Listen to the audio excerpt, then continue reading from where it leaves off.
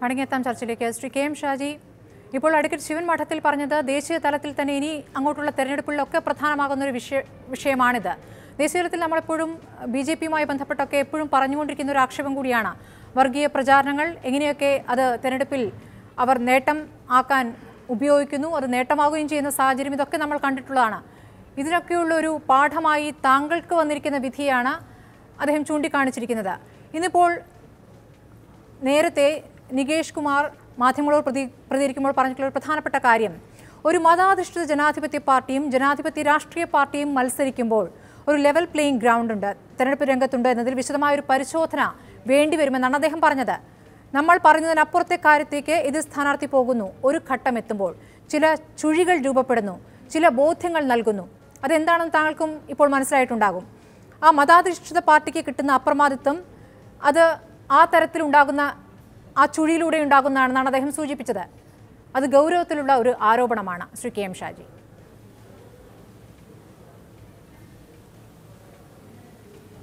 ബഹുമാനപ്പെട്ട ശിവൻ മഠത്തിൽ പറഞ്ഞിട്ടുള്ള കാര്യം ഞാൻ വളരെ പോസിറ്റീവായിട്ട് എടുക്കുന്നത്. അദ്ദേഹം അതിന്റെ ഒരു ഒരു കൃത്യമായിട്ടുള്ള ഒരു ഒരു കാര്യമാണ് പറഞ്ഞിട്ടുള്ളത്. പ്രത്യേകിച്ച് നമ്മളെയൊക്കെ ആശങ്കപ്പെടുത്തുന്ന ഒരു വലിയ ഗുരുതരമായ ഒരു പ്രശ്നമാണ് ഇന്നത്തെ ഈ രാജ്യത്തെ വർഗീയത എന്ന് പറയുന്നത്.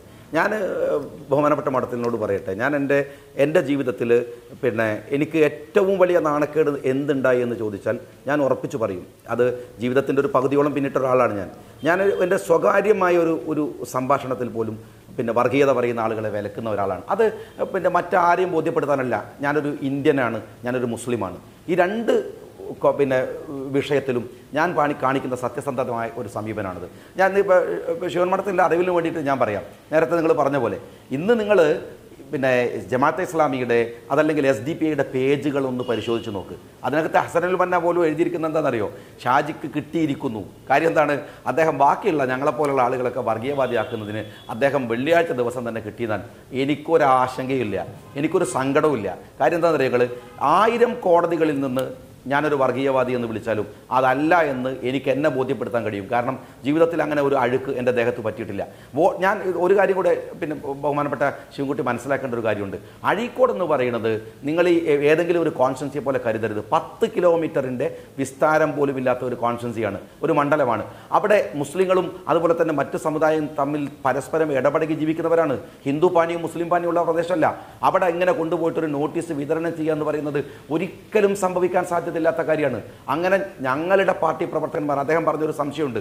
ഒരു കൊല്യൂഷൻ ഗവൺമെന്റ് ഒരു ഒരു ഒരു പിന്നെ മുന്നണിയാണ്. അതിനിടയിൽ അങ്ങനെ അങ്ങനെ അങ്ങനെ പോലും ഇത് സംഭവിക്കില്ല. ഈ ലാംഗ്വേജ് പോലും ഇത് വളരെ കൃത്രിമമായിട്ടുള്ള ഒരു ഭാഷയാണ്. ഇതൊരു മുസ്ലിം ഭാഷ പോലും അല്ല ഈ ചെയ്തിരിക്കുന്നത്.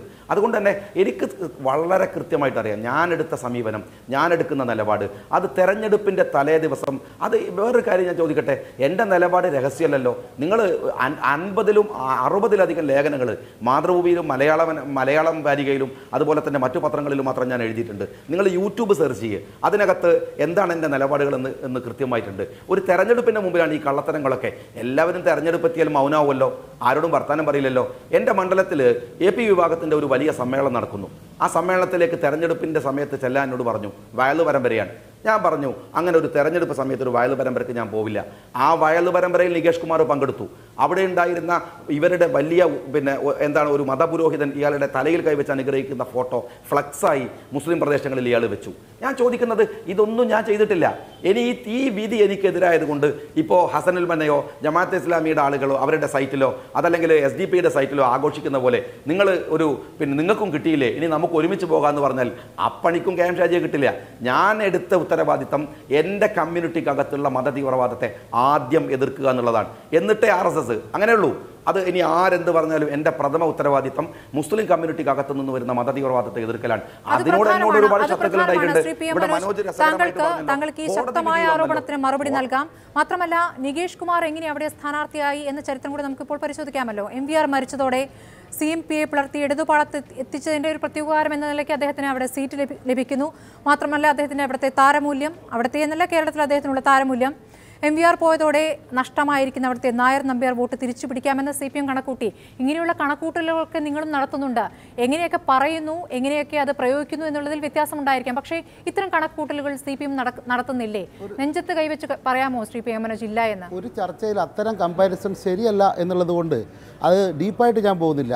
ഇപ്പോൾ ഒരു ഉദാഹരണം പറഞ്ഞാൽ ഈ കഴിഞ്ഞ മാസങ്ങൾ ഏതാനും മാസങ്ങൾക്കുള്ളിൽ എൽ ഡി എഫ് ഒരു രാജ്യസഭാ അംഗത്തെ തിരഞ്ഞെടുത്തു. ആ രാജ്യസഭാ അംഗത്തിന് സ്വന്തമായൊരു ചാനലുണ്ട്. ഈ ചാനൽ മുഴുവൻ എൽ ഡി എഫിന്റെ കൂടെ ഉണ്ടാവും എന്ന വ്യവസ്ഥയോടെ അല്ല എൽ ഡി എഫ് അത് ചെയ്യുന്നത്. അതുകൊണ്ട് അത്തരം കമ്പാരിസൺ വേണ്ട. അതിലേക്ക് ഞാൻ പോകുന്നില്ല. ഇവിടെ ശ്രീ ഷാജി പറഞ്ഞ ചില കാര്യങ്ങളുണ്ട്. പെട്ടെന്ന് തെരഞ്ഞെടുപ്പിന്റെ തലേന്ന് വന്നു ഒന്ന് എപ്പോഴാണ് അവിടെ ആദ്യം ഈ നോട്ടീസുകൾ പിടിച്ചെടുക്കുന്ന കേസ് ഉണ്ടാവുന്നത്? അത് മെയ് രണ്ടിനാണ്. അടുത്ത കേസ് മെയ് പന്ത്രണ്ടിന്. പിന്നെ വരുന്നത് മെയ് പതിനഞ്ചിന്. ഈ കമ്മീഷന്റെ സ്ക്വാഡും ഉദ്യോഗസ്ഥരും ഇത്തരം നോട്ടീസുകൾ പിടിച്ചെടുത്ത റിപ്പോർട്ട് കൊടുക്കുന്നത് മെയ് പന്ത്രണ്ടിന്. തെരഞ്ഞെടുപ്പ് നടക്കുന്നത് മെയ് പതിനാറിന്. അപ്പോൾ ഇതൊരു പ്രോസസ്സാണ് ഇതൊക്കെ റെക്കോർഡാണല്ലോ ഇതൊക്കെ ഏതെങ്കിലും ഒരു പ്രത്യേക ദിവസം. ഇത് കോടതി കണ്ടെത്തിയ കോടതിയിൽ ഷാജി ഹാജരാക്കിയ സാക്ഷികൾ ഉൾപ്പെടെ അവരെ ഉൾപ്പെടെ വിസ്തരിച്ച് കോടതി എത്തിയ നിഗമനങ്ങളാണല്ലോ. ആ നിഗമനങ്ങളിൽ ഈ ഷാജി വർഗീയവാദിയാണെന്നൊന്നും ഞാൻ പറയുന്നില്ല. പക്ഷേ വർഗീയതയെ സമർത്ഥമായി രാഷ്ട്രീയ നേട്ടത്തിന് വേണ്ടി ഉപയോഗിക്കുന്ന സാമർഥ്യം. അത് ഷാജിക്കുണ്ട്. തിരിച്ചു പറഞ്ഞിരിക്കുന്ന ആക്ഷേപത്തിനുള്ള മറുപടി. എങ്ങനെ എങ്ങനെ ഇപ്പോൾ ആരാണ് കൈവച്ച് അനുഗ്രഹിച്ചത് എം വി നികേഷ് കുമാറിനെ? അങ്ങനെ ഒരു പരിപാടിയിലേക്ക് ക്ഷണിച്ചിട്ട് അദ്ദേഹം പോയില്ല. എന്തുകൊണ്ട് എം വി നികേഷ് കുമാർ പോയെന്നാണ് ഘട്ടത്തിൽ ചോദിക്കുന്നത്? തെരഞ്ഞെടുപ്പ് ഘട്ടത്തിൽ രാഷ്ട്രീയ പാർട്ടികൾ ജനാധിപത്യ പാർട്ടികൾ ഇതുപോലുള്ള ഒരു പ്രത്യേക ഉത്സവം നടക്കുകയാണ്. ആ ഉത്സവ സ്ഥലത്തേക്ക് രാഷ്ട്രീയ പാർട്ടി പോകാൻ പാടില്ല എന്നൊന്നും രാഷ്ട്രീയ പാർട്ടി സ്ഥാനാർത്ഥികൾ പോകാൻ പാടില്ല എന്നൊന്നും ആരും പറയില്ല. ഇതിവിടെ അത്തരം കാര്യങ്ങളല്ല ഉണ്ടായത്. ഇതൊരു പ്രത്യേക മതവിഭാഗത്തിന്റെ മതവികാരം അത് അതിനെ ത്രസിപ്പിച്ച് അല്ലെങ്കിൽ ഉത്തേജിപ്പിച്ച് അതിന്റെ ഭാഗമായി വോട്ട് തട്ടാനുള്ള പാലം കടക്കൂല അങ്ങനെ മതവികാരം ഉപയോഗപ്പെടുത്താവുന്ന ഒരു പ്രധാനപ്പെട്ട സാഹചര്യമാണ് അദ്ദേഹം വേണ്ടെന്ന് വെച്ചതെന്നാണ് അദ്ദേഹം പറയുന്നത്. അല്ല അതിലും സാമർഥ്യമുണ്ട്. അത് പറഞ്ഞല്ലോ ഇരുപത്തൊന്ന് ശതമാനമാണ് അവിടെ മുസ്ലിം വോട്ട്. ബാക്കി ഹിന്ദു വോട്ട്. അപ്പോൾ ഹിന്ദു വോട്ട് കിട്ടാൻ സമർത്ഥമായി സ്വന്തം മതത്തിനകത്തെ തീവ്രവാദത്തെ അതിശക്തമായി എതിർക്കുക പരസ്യമായി എതിർക്കുക പ്രസംഗിക്കുക. അതോടൊപ്പം തന്നെ സ്വന്തം മതത്തിൽപ്പെട്ട ആളുകളുടെ വോട്ട് ഈ തരത്തിലെങ്കിലും കിട്ടുമോ? അതായത് പാലം രണ്ടും കൂടി എങ്ങനെ പ്രവർത്തിക്കും? സ്മൃതിക്ക് പ്രവർത്തിക്കും? രാഷ്ട്രീയ ഇതൊക്കെ പരസ്യമായിട്ട് ചെയ്യുന്നതല്ലോ ഇപ്പൊ കോടതിയാണല്ലോ കണ്ടെത്തിയിരിക്കുന്നത്. സ്മൃതിക്ക് എന്താ ഇത് രാഷ്ട്രീയമല്ല ഇങ്ങനെ സംഭവിക്കില്ല എന്ന് സ്ഥാപിക്കാൻ ഇത്ര വെപ്രാളം. യഥാർത്ഥ കോടതിയാണ് നമ്മൾ ധിക്കരിക്കുന്നത്. കോടതി ഇപ്പോൾ പറഞ്ഞിരിക്കുന്നു. ഇത് ചെയ്തിരിക്കും ചെയ്തിട്ടുണ്ട്. ഷാജി അയോഗ്യനാണ്. എന്തുകൊണ്ട് അയോഗ്യൻ? ഈ വൃത്തിയുടെ കളി ഈ മതം മതപരമായ കളി വർഗീയ കളി. അത് അതുകൊണ്ട് ഷാജി വർഗീയവാദി എന്നല്ല ഞാൻ പറയുന്നത്. വർഗീയത ഇപ്പോൾ ശബരിമല വിഷയത്തിൽ ഉൾപ്പെടെ ഉള്ള വിവാദമുണ്ടല്ലോ ആ വിവാദത്തിൽ ഉൾ- ഉൾപ്പെടെ പ്രസക്തമല്ലേ ഷാജിയുടെ ഈ അനുഭവം? അവിടെയും യു ഡി എഫിന്റെ നിലപാടെന്താ? അവിടെ നാല് വോട്ട് പോകുമെങ്കിൽ അത് എന്ത് നിലപാടും തിരുത്താം. ഇത് ഇന്നലെ വരെ എടുത്ത ഏത് നിലപാടും അട്ടിമറിച്ചുകൊണ്ട് നാല് വോട്ടിന് വേണ്ടി കുനിഞ്ഞു നിൽക്കാം എന്ന നിലപാട്. ആ നിലപാട് തന്നെയാണ് ഈ സമയത്തും എടുത്തത്. അതുകൊണ്ടാണ് അവസാന നിമിഷം നാനൂറ് വോട്ടല്ലേ ആദ്യ ആദ്യത്തെ തവണ ഉണ്ടായിരുന്നത്? അത് പോരാ. കുറച്ചുകൂടെ വോട്ട് വേണം. ഇരുപത്തൊന്നായിരം ഉള്ള അല്ലെങ്കിൽ മുപ്പതിനായിരം ഉള്ള ഇരുപത്തൊന്ന് ശതമാനമുള്ള ഒരു സമൂഹം. ആ സമൂഹത്തിൽ പ്രത്യേകമായി കുറച്ച് വോട്ട് പിടിച്ചെടുക്കാൻ കഴിയുമോ എന്ന ചിന്തയിലാണല്ലോ ഇത് ഉദിക്കുന്നത്. ഇത് രാഷ്ട്രീയ കളിയാണ്. ഇത് യു ഡി എഫിന്റെ കളിയാണ്. അതുകൊണ്ടാണ് മനോരമയുടെ വീട്ടിൽ മനോരമ മുസ്ലിം ആയതുകൊണ്ടല്ല. യു ഡി എഫ് ഒന്നടങ്കം ഈ തീരുമാനം എടുത്ത് നടപ്പാക്കുന്നതുകൊണ്ടാണല്ലോ മനോരമയുടെ വീട്ടിൽ കെട്ടുണ്ടാവുന്നത്. ആ കെട്ട് മനോരമയുടെ വീട്ടിൽ മാത്രമല്ലല്ലോ ഉണ്ടായത്. നിഷ്കളങ്കയായ കോൺഗ്രസ് പഞ്ചായത്ത് പ്രസിഡന്റിന്റെ വീട്ടിൽ മാത്രം സൂക്ഷിച്ചതാണ് എന്ന് ഷാജിക്ക് പറയാൻ കഴിയുമോ ബാക്കി മൂന്ന് കേസ് എങ്ങനെ ഉണ്ടായി? എവിടുന്ന് പിടിച്ചെടുത്തു? അതും കൂടെ വിശദീകരിക്കണ്ടേ? അല്ല ഇവിടെ വിശദീകരിക്കണ്ട. നിങ്ങൾക്ക് കോടതിയിൽ പറയാമായിരുന്നില്ലേ? ഈ തിരികെ കയറ്റിയതാണെന്ന് ഇപ്പോൾ പറയുന്നുണ്ടല്ലോ. ആ തിരികെ കയറ്റിയതാണെന്ന് ഇവരുടെ ആരുടെയെങ്കിലും സാക്ഷിമൊഴികളിലുണ്ടോ? അഥവാ ഉണ്ടെങ്കിൽ എന്തുകൊണ്ട് കോടതി അത് വിശ്വസിച്ചില്ല? അങ്ങനെ വിശ്വസിക്കാതെ കോടതി ഇത്തരം ഒരു വിധി പ്രഖ്യാപിച്ചതിന് ശേഷം അതേ വാദം ഇപ്പോൾ പിന്നെയും ആവർത്തിക്കുന്നതിൽ എന്താ അർത്ഥം? അല്ല അദ്ദേഹത്തിന് അതേ വാദം ഉന്നയിക്കേണ്ടി വരും. കാരണം മേൽക്കോടതിയിൽ പോകുമ്പോഴും ഇത് ഇത് ശരിയല്ല എന്ന് എന്ന് വ്യക്തമാക്കിയല്ലേ അതെ, അത് അദ്ദേഹത്തിന് വഴിയുള്ളൂ അത് തെളിയിക്കണമല്ലോ. അത് തെളിയിച്ചിട്ടില്ലെങ്കിൽ ഷാജിക്ക് ഇപ്പൊ ആറ് അത് വർഷം തെളിയിക്കുമെന്നാണ് അദ്ദേഹം പറഞ്ഞത്. അദ്ദേഹത്തിന് എം എൽ എ സ്ഥാനം കിട്ടിയില്ലെങ്കിലും അത് തെളിയിക്ക തെളിയിക്കുമെന്നാണ് ഇപ്പോൾ അതൊരു പ്രതീക്ഷയാണ്. ഇപ്പോഴത്തെ യാഥാർത്ഥ്യം ശ്രീ ഷാജി ഇന്ത്യൻ ജനപ്രാതിനിധ്യ നിയമം ലംഘിച്ചിരിക്കുന്നു. അതിൽ ഉൾപ്പെടുന്ന കുറ്റകൃത്യം ചെയ്തിരിക്കുന്നത് മാത്രമല്ല രണ്ടായിരത്തി പതിനേഴിലെ ഏഴംഗ ബെഞ്ച് സുപ്രീം കോടതിയുടെ ഭരണഘടനാ ബെഞ്ചിന്റെ വിധിയുണ്ട്. അത് തെരഞ്ഞെടുപ്പിനെ എങ്ങനെ എന്താ വർഗീയമായി ജാതിപരമായി ഉപയോഗിക്കുന്നു എന്ന് ചൂണ്ടിക്കാണിച്ച് അത്തരം കാര്യങ്ങൾ ഇപ്പോൾ ശ്രീ ശിവമഠത്തിൽ പറഞ്ഞല്ലോ മതേതരത്വം. ആ മതേതരത്വത്തെയും ജാതി സ്പർദ്ധ ഉണ്ടാക്കുന്ന രീതിയിൽ ഏതെങ്കിലും തരത്തിൽ തെരഞ്ഞെടുപ്പിൽ ഇടപെട്ടാൽ അത് ഭരണഘടനാ ലംഘനമാണ് നിയമലംഘനമാണ്. അതോടൊപ്പം തന്നെ ജനപ്രാതിനിധ്യ നിയമത്തിലെ നൂറ്റി ഇരുപത്തി മൂന്നാം വകുപ്പ് അനുസരിച്ച് കുറ്റകൃത്യവുമാണ് എന്ന് സുപ്രീം കോടതി വളരെ കൃത്യമായിട്ട് പറഞ്ഞിട്ടുണ്ട്. അതിന് തുടർച്ചയാണ് ഈ വിധി. ശ്രീ കെ എം ഷാജി താങ്കൾ പറയുന്ന ഇപ്പോൾ പറഞ്ഞുകൊണ്ടിരിക്കുന്ന വാദങ്ങൾ ഇത് തന്നെ ഹൈക്കോടതിയും ബോധ്യപ്പെടുത്തിയിട്ടുണ്ട്. ഇനിയിപ്പോൾ സുപ്രീം കോടതിയെ മേൽക്കോടതിയെ ബോധ്യപ്പെടുത്തിക്കൊണ്ട് താങ്കൾക്ക് മേലുള്ള കറ കളയാനാണ് താങ്കൾ ശ്രമിക്കുന്നത്. പക്ഷേ ഇങ്ങനെ പറഞ്ഞാൽ പോരാ. ഇങ്ങനെ പറഞ്ഞു കഴിഞ്ഞാൽ താങ്കൾ വീണ്ടും പരാജയപ്പെടുമെന്നാണ് പി എം മനോജ് തന്നെ ചൂണ്ടിക്കാണിക്കുന്നത്. അപ്പോൾ എന്താണ് കൃത്യമായി ഇതൊക്കെ ഗൂഢാലോചനയാണ് എന്ന് തെളിയിക്കാവുന്ന കാര്യങ്ങൾ താങ്കളുടെ പക്കലുള്ളത്.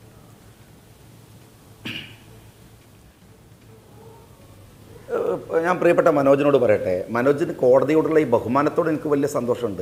നിങ്ങളൊരു ഒരു കോടതിയുടെ ഏതെങ്കിലും ഒരു വിധി വരുമ്പോഴത്തേക്കും അത് അന്തിമ വിധി പോലെ കൊണ്ടാടുന്നു എന്നുള്ളതിലൊക്കെ നിങ്ങളൊന്നും അപ്പീൽ പോവാറില്ലല്ലോ. അതുകൊണ്ട് നമുക്ക് അതിനോട് എനിക്ക് വലിയ സന്തോഷമുണ്ട്. സംഗതി തർക്കടില്ല. പക്ഷേ ഞാൻ മനോജ് പറഞ്ഞൊരു കാര്യം അതിനിടയിലൂടെ വരികൾക്കിടയിൽ തെറ്റിദ്ധാരണ ഉണ്ടാക്കരുത്.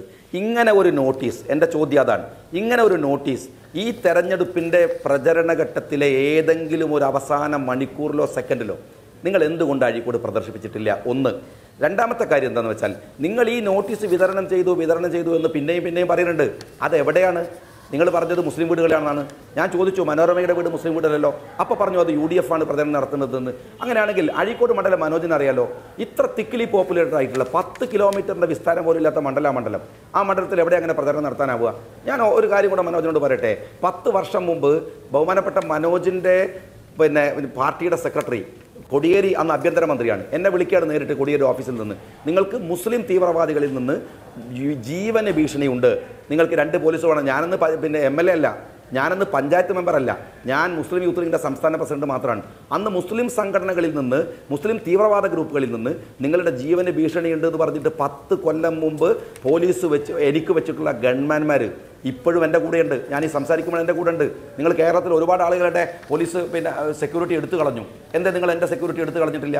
നിങ്ങൾക്ക് ഇപ്പോഴും അറിയാം നാറാത്ത കേസ് അടക്കമുള്ള കേസുകളിൽ എനിക്കെതിരെ ഭീഷണി ഉണ്ടെന്ന് മൂന്ന് തവണ വർഗീയ എനിക്കെതിരെ ജീവന് അറ്റംപ്റ്റുകൾ ഉണ്ട് ജീവനെതിരായിട്ടുള്ള ആക്രമണങ്ങൾ ഉണ്ടായിട്ടെന്ന് നിങ്ങൾക്ക് നന്നായിട്ട് അറിയാം. നിങ്ങൾക്ക് ഇതൊക്കെ അറിയാവുന്ന കാര്യമാണ്. ഇത് ഞാൻ നിങ്ങളെ ഒരിക്കലും ബ്ലൈം ചെയ്തിട്ട് പറയാൻ ശ്രമിക്കണില്ല.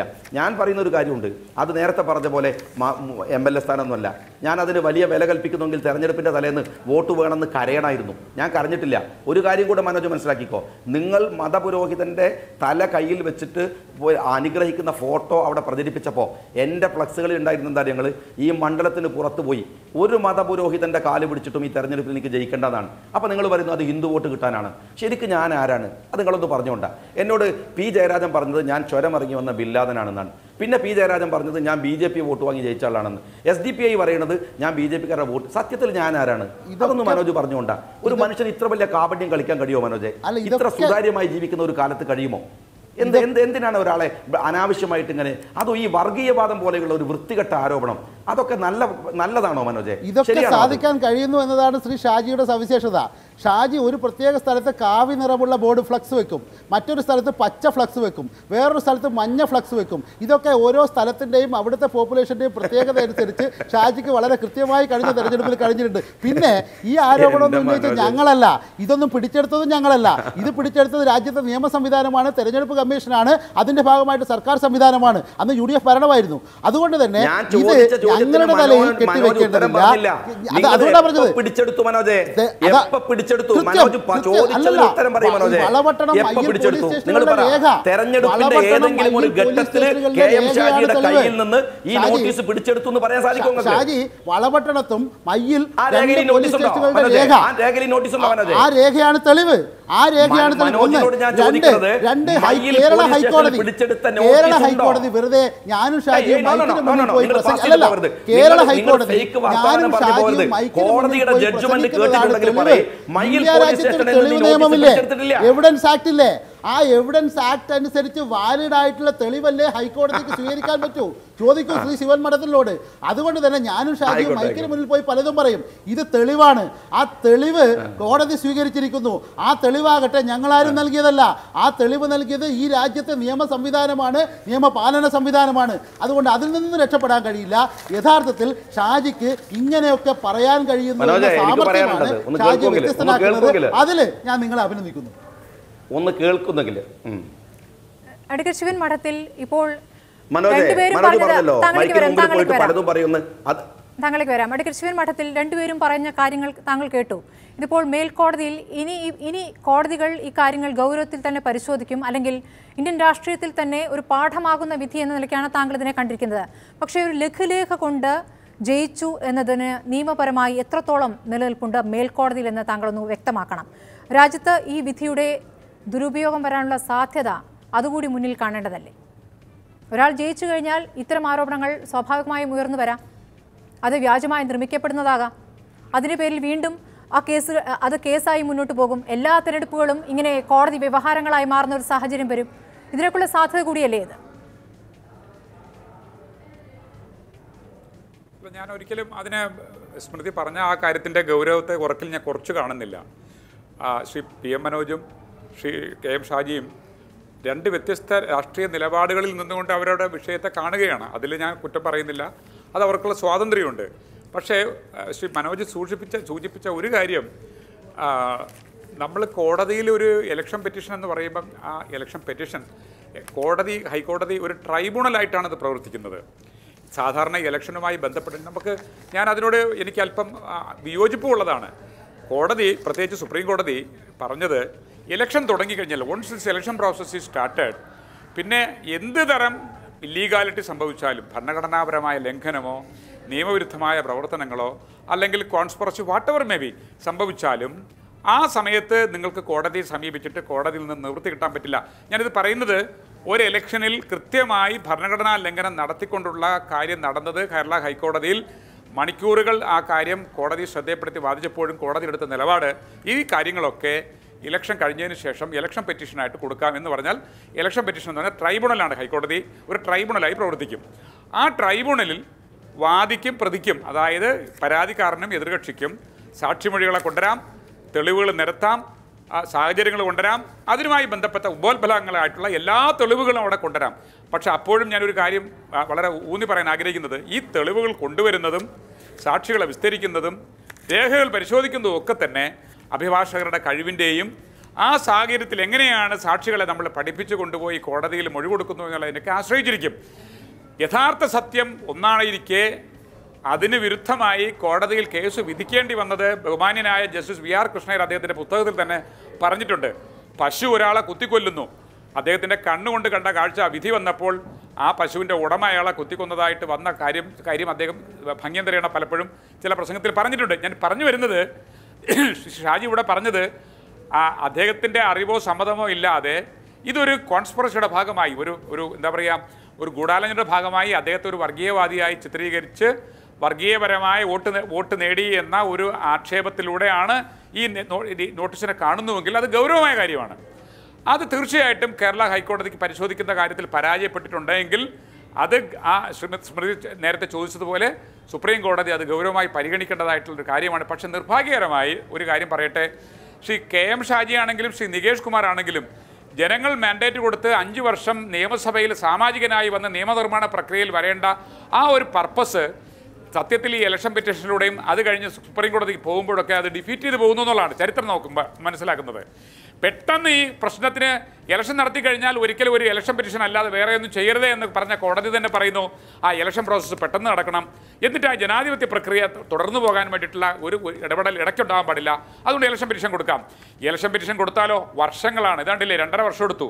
ഇത് കഴിഞ്ഞ് ഇതിനെതിരെ സുപ്രീം കോടതി പോയാൽ സുപ്രീം കോടതി ഒരുപക്ഷെ നിയമപ്രശ്നങ്ങൾ അന്വയിക്കുന്ന സമയത്ത് ചിലപ്പോൾ സ്റ്റേ ഇട്ടാൽ അത് വർഷങ്ങൾ അവിടെ കിടക്കും. അങ്ങനെ പല പെറ്റീഷൻ അവിടെ കിടക്കുന്നുണ്ട്. ഇത് ജനാധിപത്യത്തിലെ നമ്മൾ എന്തിനു വേണ്ടിയിട്ടാണോ ഇത്തരം ഇലക്ഷൻ പെറ്റീഷൻ പോകുന്നത്? ആത്യന്തികമായി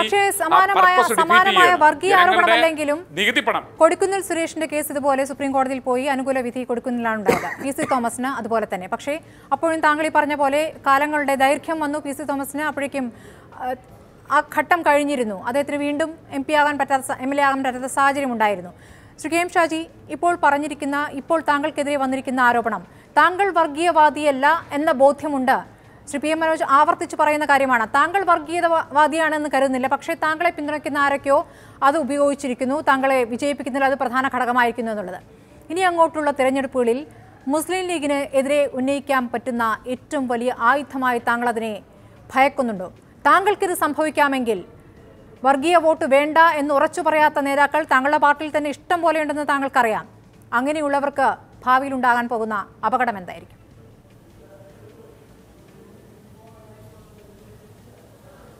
അല്ല, എന്നെ സംബന്ധിച്ചിടത്തോളം ഇതിന്റെ ഒരു ഭീഷണിയെക്കുറിച്ചൊന്നുമല്ല ഞാൻ പിന്നെ പേടിക്കുന്നത് അങ്ങനെ അല്ലെങ്കിൽ സങ്കടപ്പെടുന്നത്. എനിക്കിതിൽ ഇതിനകത്തുള്ള അപമാനമാണ്.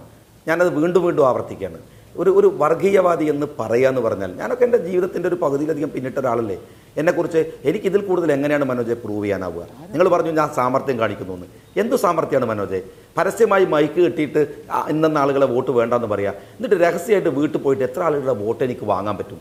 എത്ര പേരുടെ വോട്ട് വാങ്ങാൻ പറ്റും? ഞാൻ മനോജിനോട് പറയുന്നു ഇതിന് സമാനമായിട്ട് നിങ്ങൾ തെരഞ്ഞെടുപ്പിന്റെ തലേ ദിവസം ഇന്ന ഇന്ന ആർ എസ് എസിന്റെ വോട്ട് വേണ്ട ജമാഅത്തെ ഇസ്ലാമിയുടെ വോട്ട് വേണ്ട എസ് ഡി പിയുടെ വോട്ട് വേണ്ട മത മത തീവ്രവാദികളുടെ വോട്ട് വേണ്ട എന്ന് പരസ്യമായിട്ട് പറഞ്ഞ എത്ര പേരെ നിങ്ങൾക്ക് കാണിക്കാൻ കഴിയും? എന്നിട്ട് നിങ്ങൾ പറയുന്നത് ഞാൻ അതും കാപട്യം കളിച്ചു എന്നാണ്.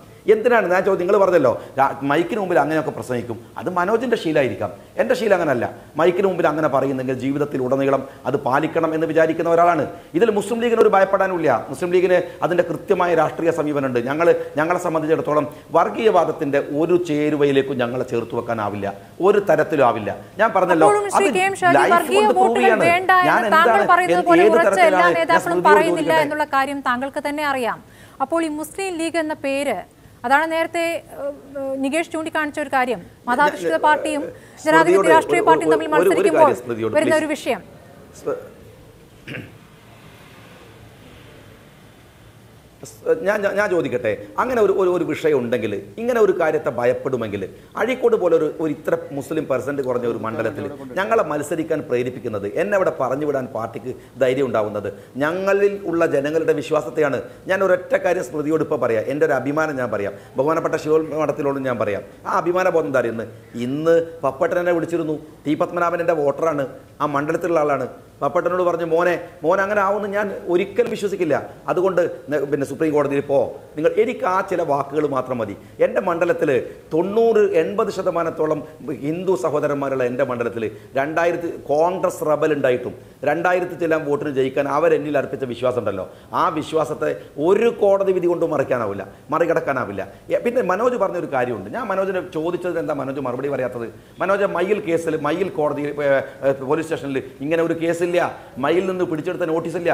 എന്നാൽ ഞാൻ ഇതൊരു കാര്യം പറയാം സ്മൃതി. ഞാനാണ് ഇതിലെ ഒരു ഒരു പ്രതി എന്നുള്ള നിലയ്ക്ക് എനിക്ക് അവസരം തരണം. ഒരൊറ്റ കാര്യം ഞാൻ പറയാം. ഇതിനകത്ത് വളരെ കൃത്യമായി പ്രവർത്തിച്ച രണ്ടുപേരുണ്ട് ഒന്ന് ഡെപ്യൂട്ടി എന്താണ് തഹസിൽദാർ എന്ന് പറയുന്ന എന്താണ് ആ ഒരു ഒരു ഒരു ഒരു ഷാജുവിനെ കോടതി വിസ്തരിച്ചു. രണ്ടാമത്തെ ഒരാൾ അതുപോലെ തന്നെ വളപട്ടണം പോലീസ് സ്റ്റേഷനിൽ ഉണ്ടായിരുന്ന ശ്രീ ശ്രീ ശ്രീജിത്ത് കൊടേരി എന്ന് പറയുന്ന ഒരു എസ് ഐ ആണ്. ഈ രണ്ട് കൂട്ടരും ഈ കഴിഞ്ഞ രണ്ടര കൊല്ലം കൊണ്ട് നേടിയ ആനുകൂല്യങ്ങൾ മാത്രം പരിശോധിച്ചാൽ ഈ രണ്ടുപേരെ കൃത്യമായിട്ട് ഉപയോഗിച്ചു. എന്ന് വെച്ചാൽ മനോരമയുടെ വീട്ടിൽ നിന്ന് നോട്ടീസ് പിടിച്ചെടുത്തു. ശരി. ഈ നോട്ടീസ് കൊണ്ടുപോകുന്ന വഴിയിൽ ഇവർ അടിച്ചിറക്കിയ ഈ വർഗീയ പ്രചാരണത്തിന് നോട്ടീസ് ഇതിനിടയിൽ വെക്കുന്നു. ഇലക്ഷൻ കമ്മീഷന്റെ ഓഫീസിൽ ഇത് ഭദ്രമായി വെക്കുന്നു. പിന്നീട് വിവരാവകാശം വഴി നമ്മൾ ചോദിക്കുമ്പോൾ സ്വാഭാവികമായി ഈ നോട്ടീസ് കെട്ടെടുത്ത് പുറത്തു കൊടുക്കുന്നു. ഞാൻ ചോദിക്കുന്ന ഒരു ചോദ്യം. ഈ ഈ ശ്രീജിത്ത് കൊടേരി എന്ന് പറയുന്ന ആളും ഇതുപോലെ തന്നെ അഴിമതി കേസിൽ നിങ്ങൾ മനസ്സിലാക്കണം ഒരു വർഷം സസ്പെൻഡിലായ ആളാണ് ഈ പറയുന്ന ഷിജു എന്ന് പറയുന്ന ഷാജു എന്ന് പറയുന്ന ഉദ്യോഗസ്ഥൻ. ആ ഉദ്യോഗസ്ഥൻ സി പി എമ്മിന്റെ സംഘടനാ ഭാരവാഹിയാണ്. അയാളാണ് ഇലക്ഷന്റെ ചാർജ് ഉണ്ടായിരുന്ന ആൾ ഈ രണ്ടു പേരെ ഉപയോഗിച്ച് നികേഷിന്റെ ഏറ്റവും മ്ലയച്ചമായ അയാളുടെ അയാളുടെ ബുദ്ധിയിൽ ഉരുത്തിരിഞ്ഞ ഒരു കേസ് മാത്രമാണിത് ഞാൻ വീണ്ടും ഒരു കാര്യം ഇവിടെ പറയാണ്. എത്ര കേസുകൾ വന്നാലും ഇപ്പൊ മറ്റുള്ള പിന്നെ എന്താണ് എസ് ഡി പി ഐക്കാരനൊക്കെ എത്ര ഗുരുതരമായ ആഘോഷിച്ചാലും ആരോപണമാണ് എന്റെ ശ്രീ കെ എം നിലപാടുകളിൽ ഷാജി താങ്കൾ ഇതുകൊണ്ടൊന്നും ഉന്നയിച്ചിരിക്കുന്നത് മാറ്റമില്ല. ഈ രണ്ട് അല്ല ഈ രണ്ട് ഈ രണ്ട്. ഉദ്യോഗസ്ഥരും. പല ആനുകൂല്യങ്ങളും നേടിയെന്ന് താങ്കൾ പറയുമ്പോൾ ആനുകൂല്യം താങ്കൾക്ക് നാളെ കോടതിയിൽ ബോധ്യപ്പെടുത്താവുന്ന വിഷയം കൂടിയാണത്. എന്ത് ആനുകൂല്യം നേടിയെന്നാണ്?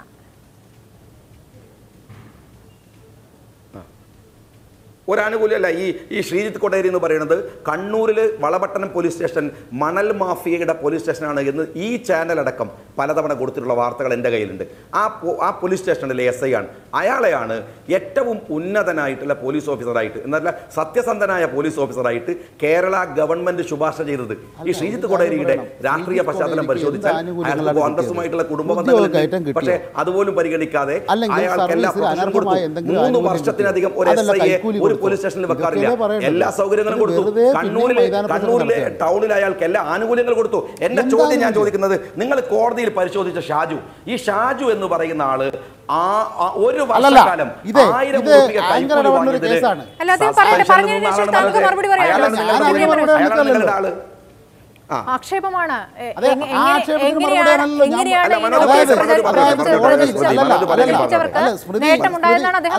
അല്ലല്ല, ഞാൻ ആങ്കറിന്റെ പക്ഷപാതത്തെ കുറിച്ചൊന്നും ഞാൻ പറയുന്നില്ല. പക്ഷെ ഇവിടെ ഒരു പിന്നെ മനോജ് കോടതിയിൽ. കോടതിയിൽ പരാജയപ്പെട്ട ഒരാൾ വന്നിട്ട് വീണ്ടും അതായത് വ്യക്തിപരമായ ആക്ഷേപങ്ങളടക്കം ഉന്നയിച്ചു എന്നാണ് കോടതിയിൽ നികേഷ് കുമാർ കൊടുത്ത കേസ്. ആ കേസാണ് തെളിയിക്കപ്പെട്ടിരിക്കുന്നത്. എന്നിട്ട് വീണ്ടും പുതിയ ആക്ഷേപങ്ങളുമായിട്ട് ഒരാൾ വരുമ്പോൾ അതാണ് ശരിയെന്നോ അല്ലെങ്കിൽ അത് അംഗീകരിച്ചു കൊടുക്കാനോ അതിന് മറുപടി പറയൂ എന്ന് പറയുമ്പോൾ അതിനുണ്ടാവുന്ന അപകടം. അത് ചെറുതല്ല. ഇപ്പോൾ ഉദ്യോഗസ്ഥന്മാർ രണ്ട് ഉദ്യോഗസ്ഥന്മാരെ കുറിച്ച് പറഞ്ഞല്ലോ. ശ്രീജിത് കൊടേരി എസ് ഐ അദ്ദേഹത്തിന് സ്ഥാനക്കയറ്റം കൊടുത്തിട്ടുണ്ടോ? ആരെങ്കിലും പറയട്ടെ? അല്ലെങ്കിൽ അനർഹമായ സർവീസ് ആനുകൂല്യങ്ങൾ കൊടുത്തിട്ടുണ്ടോ അതല്ല കൈക്കൂലി കൊടുത്തിട്ടുണ്ടോ തെളിയിക്കട്ടെ പറയട്ടെ അല്ലാതെ ഇവിടെ വന്നിട്ട് ഈ ഞാനതാ പറഞ്ഞത് ഈ മൈതാന കൊടുത്തിട്ടുണ്ട്. പ്രസംഗം. ഇതുപോലെ. അതായത്. ശ്രീജിത്ത് കൊടേരിക്കെതിരെ കൈക്കൂലി ആരോപണം നിങ്ങൾ കൊടുത്തിട്ടുണ്ട് മനോജേ. എന്തുകൊണ്ട് നിങ്ങൾ കൊടുത്തിട്ടുണ്ട്. കോടതിയിൽ ഉന്നയിച്ചില്ല എന്തുകൊണ്ട് കോടതിയോട് പറഞ്ഞില്ല എന്തുകൊണ്ട് കോടതിയെ ബോധ്യപ്പെടുത്താൻ കഴിഞ്ഞില്ല? നിങ്ങൾ ഇത്രയും കാലം രണ്ടര കൊല്ലം കേസ് നടത്തിയല്ലോ. ഞാൻ രണ്ടര കൊല്ലം കേസ് നടത്തി പരാജിതനായി സ്വയം നിയമലംഘനായി അയോഗ്യനായി പുറത്തു വന്നതിന് ശേഷം ഇപ്പൊ പുതിയ ആരോപണമായിട്ട് ഇതൊക്കെ അന്തസ്സില്ലായ്മയാണ് നിങ്ങൾ പ്രകാശ്. മാഷ്ക്കെതിരെ കാണിച്ച ഇതാണ്. നിങ്ങൾ വളച്ചൊടിക്കലൊക്കെ കാണിച്ച ഇതാണ്. നിങ്ങളിപ്പോ പറഞ്ഞല്ലോ ഞാൻ വർഗീയവാദിയല്ല വർഗീയവാദിയല്ല. ഉത്തരം പറയാനുണ്ട്. ഷാജി എന്നെ മനോജേ അന്തസ് മാത്രം വളർന്നിട്ടില്ല. അങ്ങനെ വളരുമ്പോൾ ഞാൻ ഫോണിൽ വിളിക്കട്ടെ പക്ഷേ നിങ്ങൾ വർഗീയവാദി അല്ലാന്ന് ഞങ്ങൾ പറഞ്ഞിട്ടില്ല. ആ. നിങ്ങൾ വർഗീയവാദി അല്ലാന്ന് ഞങ്ങൾ പറഞ്ഞിട്ടില്ല. കാരണം നിങ്ങൾക്ക് അതിസമർത്ഥരായി. നാടകം കളിക്കാൻ കഴിയുന്ന നടനാണ് അതുകൊണ്ടാണ് ശേഷം തിരിച്ചെത്താം.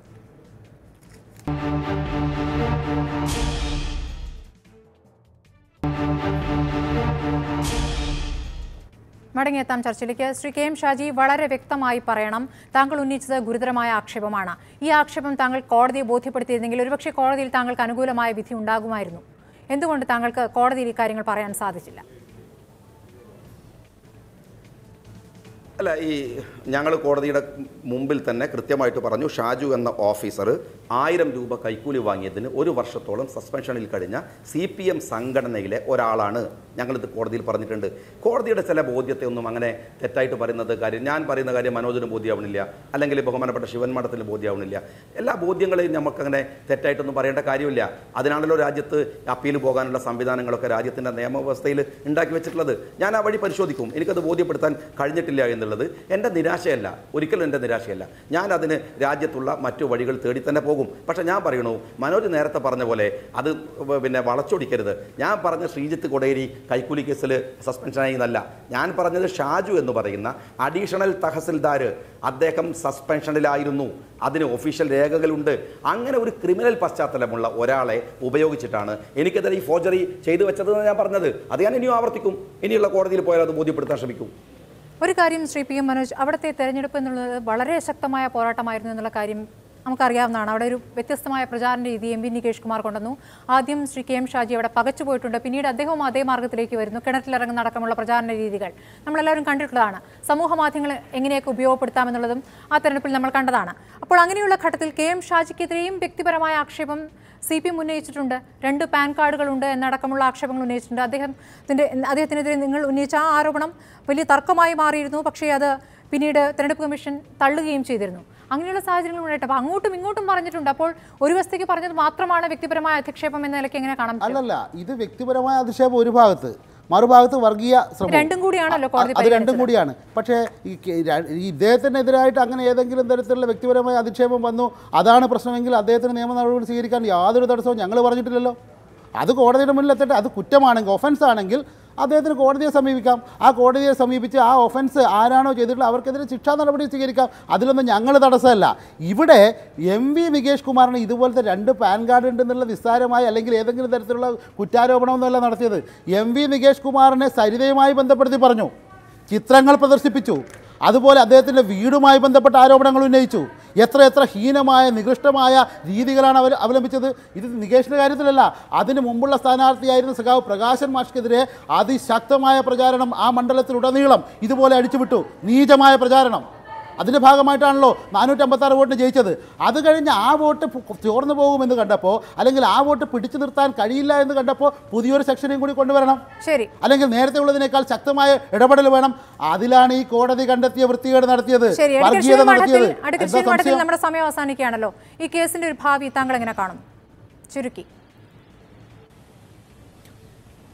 കേസിന്റെ ഭാവിയെക്കുറിച്ച് നമ്മളിപ്പോൾ സ്മൃതി അങ്ങനെ ഒരു വിലയിരുത്തൽ ഇപ്പം നടത്താൻ പറ്റില്ല. പക്ഷേ ഞാൻ ഒരു കാര്യം ഇപ്പം എനിക്ക് എന്നോട് ചേർത്ത് പറയാനുണ്ട്. ഷാജിയോടുള്ള എന്റെ ഒരു റിക്വസ്റ്റ്. വർഗീയവാദി എന്ന് ഷാജി പല പ്രാവശ്യം പറയുന്നു ഞാനൊരു വർഗീയവാദി വർഗീയവാദി എന്ന്. ഷാജി ഒരു വർഗീയവാദി എന്ന് കോടതി കണ്ടിട്ടേ ഇല്ല അത് ആദ്യം താങ്കൾ തിരുത്തണം അത്.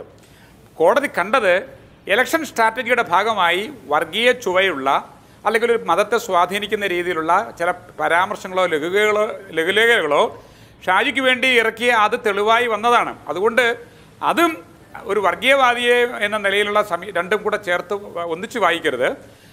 വർഗീയ ചുവയുള്ള പരാമർശങ്ങളോ ലഹുലകളോ ഇലക്ഷന്റെ ഭാഗമായി അടവ് നയത്തിന്റെ ഭാഗമായിട്ടോ അല്ലെങ്കിൽ ഇലക്ഷന്റെ സ്ട്രാറ്റജിയുടെ ഭാഗമായിട്ടോ വന്നിട്ടുണ്ടെങ്കിൽ ഷാജി ഒരു വർഗീയവാദിയാണ് എന്ന് സ്വയം പറഞ്ഞ് അങ്ങനെ അങ്ങനെ ഒരു വാദം സമർത്ഥിച്ചെടുക്കരുത്. അത് അങ്ങനെ ഉണ്ടായിട്ടില്ല. ശരി. ഇലക്ഷനിൽ ഇങ്ങനെ ഒരു സമീപനം എടുത്തു ആ സമീപനം കറക്റ്റ് പ്രാക്ടീസിന്റെ ഭാഗമാണ്. ശ്രീ മനോജ് പറഞ്ഞ കാര്യത്തിൽ ഒരു കാര്യം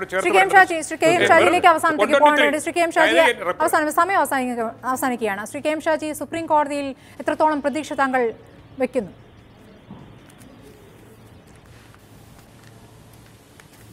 എനിക്ക് പൂർണ വിശ്വാസമുണ്ട് സുപ്രീം കോടതിയിൽ. ഇത് എനിക്ക് പ്രൂവ് ചെയ്യാൻ കഴിയും. കാരണം അത്രമേൽ ദുർബലമായിട്ട് വളരെ നന്ദി. ചർച്ചയിൽ പങ്കെടുത്ത എല്ലാവർക്കും. സൂപ്പർ പ്രൈം ടൈം അവസാനിക്കുക